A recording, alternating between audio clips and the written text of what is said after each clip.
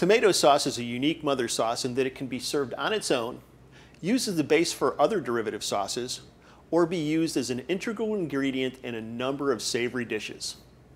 Although some recipes may call for roux, tomato sauce is thickened mainly by pureeing.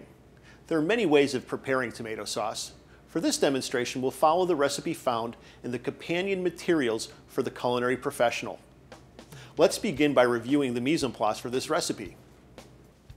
To make this tomato sauce, we'll use 3 ounces or 80 milliliters extra virgin olive oil, 4 ounces or 115 grams medium diced onions, 4 ounces or 115 grams medium diced carrots, 8 ounces or 225 grams medium diced celery, 2 tablespoons or 30 milliliters minced garlic, 2 bay leaves, 1 tablespoon or 15 milliliters dried thyme leaves, 1.5 gallons or 5.7 liters seeded and chopped tomatoes.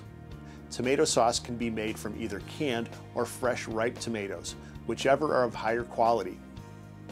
1 quart or 1 liter white chicken or veal stock.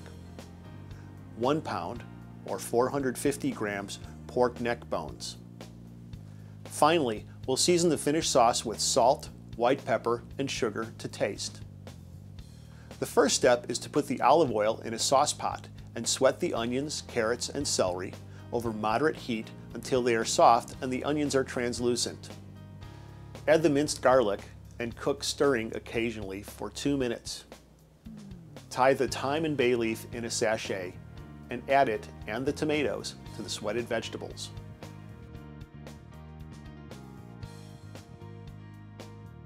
The stock and pork bones are optional ingredients. For a vegetarian sauce, they should be omitted. Simmer the sauce for at least an hour. Stir it often to prevent it from scorching.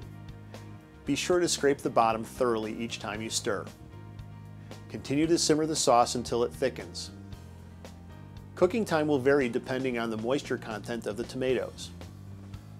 Remove the sachet and pork bones. The tomato sauce can be pureed in a blender or food processor or with a food mill.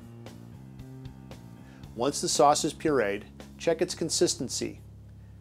If it is too thin, the sauce can be put into a sauce pot and further simmered to reduce it to the desired thickness. Be sure to stir it often during the reducing to prevent scorching.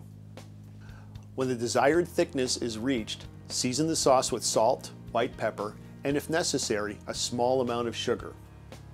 If the sauce won't be used promptly, cool it to below 70 degrees Fahrenheit or 21 degrees Celsius in two hours or less, and below 41 degrees Fahrenheit or 5 degrees Celsius in less than a total of six hours. With the addition of ingredients like cream, herbs, onions, peppers, and chilies, tomato sauce can be used as a base for a variety of delicious sauces. It's also an important ingredient in numerous soups, stews, vegetable, and pasta dishes.